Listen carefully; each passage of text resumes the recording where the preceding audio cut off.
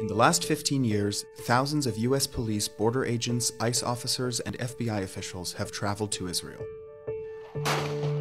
We bring over to Israel American police chiefs, sheriffs, law enforcement of every type. Israeli military personnel also travel to the US to exchange tactics with police departments and state agencies. So, what's wrong with these exchanges?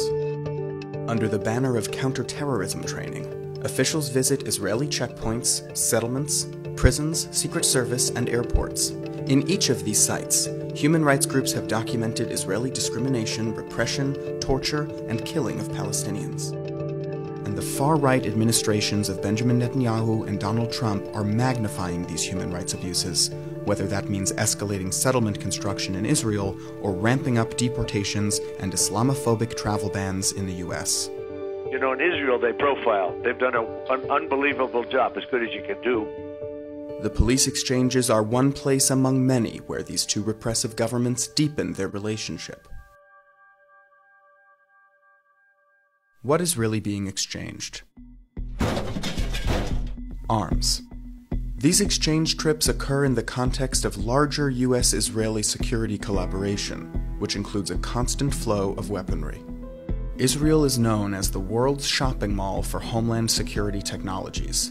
The US supplies them with $3.8 billion each year and with weapons, such as tear gas used against peaceful protesters in both countries.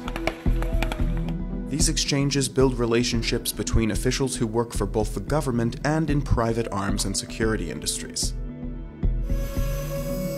Tactics. A major focus of the exchange trips is how to expand existing surveillance practices in both countries, with little regard for human or civil rights. Israel has more surveillance companies per capita than any other country in the world, and uses non stop surveillance in its military occupation of Palestinians. Spying is also key to policing in the US, which has the biggest sheer number of surveillance companies in the world.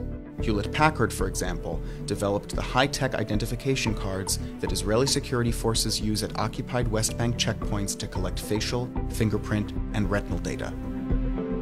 Ideology the exchange trips advance racist policies and target social justice movements as security threats. Delegates meet with Israeli riot police, who are well documented in their use of violence when suppressing peaceful Palestinian protest. So, who's going on these exchanges?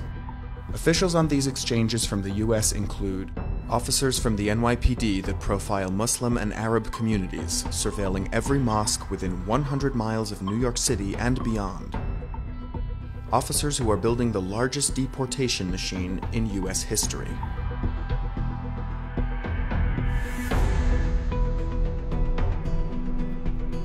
Officers who lead police departments that brutalize black and brown communities. The former St. Louis police chief Timothy Fitch trained with the Israeli military three years before Michael Brown's killing and the Ferguson uprising officers who attack indigenous led social movements, like the Water Protectors at Standing Rock. These exchanges build relationships between these U.S. forces and Israeli officials carrying out similarly repressive, violent, and racist policies against Palestinians, Mizrahi and Ethiopian Jews, and political activists. Simply put, these trips serve as an exchange of worst practices, emboldening racist policing in the US and holding up an occupying army as a global gold standard. At Jewish Voice for Peace, we were disturbed to learn that many of the organizations running these exchange programs are institutions in our own community, including civil rights organizations.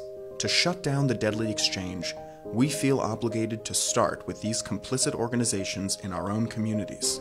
They include the American Israel Public Affairs Committee, the Anti Defamation League, and even Birthright Israel. As a Jewish organization, we feel a particular responsibility to address those who run these programs in our names. We believe civil rights organizations and Jewish communal institutions should not dispatch police, ICE, and FBI agents to swap tactics with an occupying army. Ending these exchange programs will not instantaneously bring about justice for Palestinians or fundamentally transform generations of racist policing in the US but we do believe that it's a simple, concrete, and important step in that direction, and one we can take right now. Ending these exchanges starts in your community. We'll bring this fight to the policymakers in our communities and hold accountable the Jewish institutions who run and fund the deadly exchange. The truth is, none of our communities are safe when our family, friends, and neighbors are being targeted by racist policing, surveillance, occupation, and apartheid. What does make us safe? We create the path to safety by building joint struggles for justice and showing up to protect and defend one another. That's the exchange we must grow between people's movements for justice, equality, and dignity. Join the campaign with Jewish Voice for Peace at deadlyexchange.org.